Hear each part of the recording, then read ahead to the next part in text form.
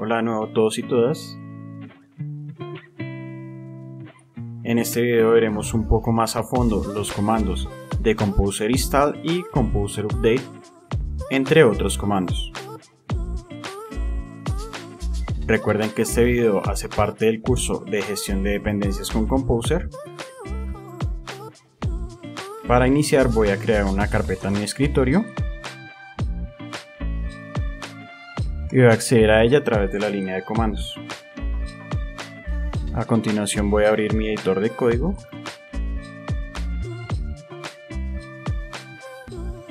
y voy a crear un archivo composer.json.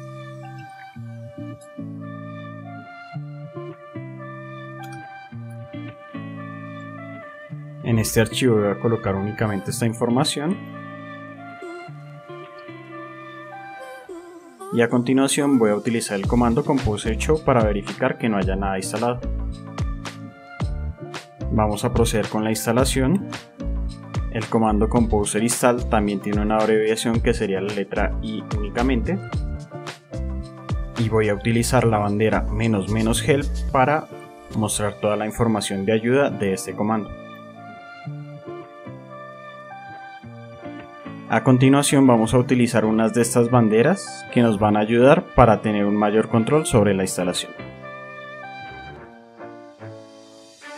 La primera de ellas sería la bandera NoDep que nos evitaría la instalación de algunos paquetes en modo desarrollo.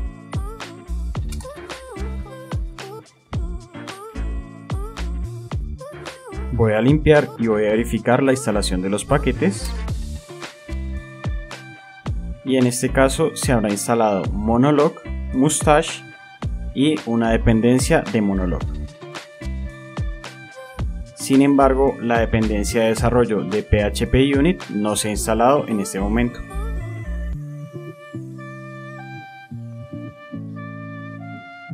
Para instalarla podemos colocar la bandera dep o simplemente no colocar ninguna bandera ya que esta está por defecto en el momento de la instalación. También podríamos utilizar el comando update o su abreviación U, el cual tendría exactamente las mismas banderas que tiene el comando install. Vamos a permitir la instalación de dependencias de desarrollo, sin embargo también vamos a colocar una etiqueta para optimizar la creación de recursos. Este comando también tendría una abreviación que es "-o". Voy a pulsar enter y actualizará todos los paquetes, instalará la dependencia de PHP Unit y realizará una optimización de los paquetes. Voy a limpiar y voy a verificar nuevamente la instalación con el comando show. Ya que PHP Unit tiene otras dependencias, habrá instalado no solamente PHP Unit, sino sus propias dependencias. Lo recomendable al realizar una instalación en un entorno de producción sería utilizar la bandera NoDep y la bandera de optimización. Al utilizar este comando, eliminaría las carpetas que pertenecen al modo desarrollo. Limpio nuevamente y al verificar la instalación únicamente nos aparecerán las dependencias de producción. A partir de la versión 2 también agregaron este comando para verificar que los paquetes que hemos instalado y las versiones de PHP sean compatibles. Normalmente este comando lo utilizaríamos en producción, por lo cual sería recomendable utilizar la bandera Node.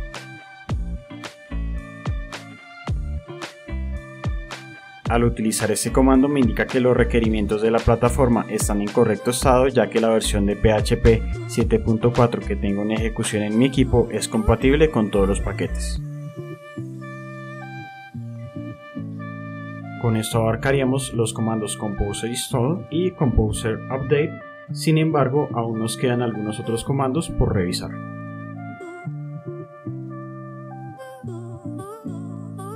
Recuerden que también me pueden encontrar en Twitter como imgildev en GitHub como Manuel Gil. Si les ha gustado este video no olviden darle me gusta y compartirlo para que alcance a más personas. También suscríbanse a este canal si aún no lo han hecho.